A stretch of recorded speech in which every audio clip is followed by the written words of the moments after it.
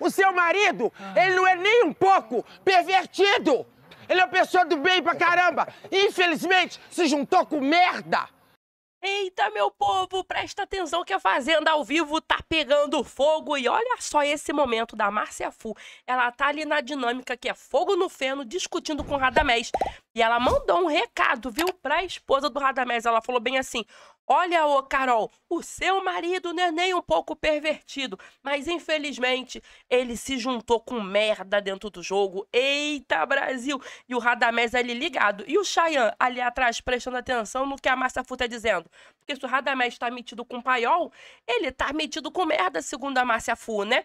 E aí a Márcia Fu falou bem pra ele assim: aqui, rapaz, você é um menino bom, mas você tá lascado no jogo e você vai ver lá fora, você vai ver. Sabe por quê, Radamés?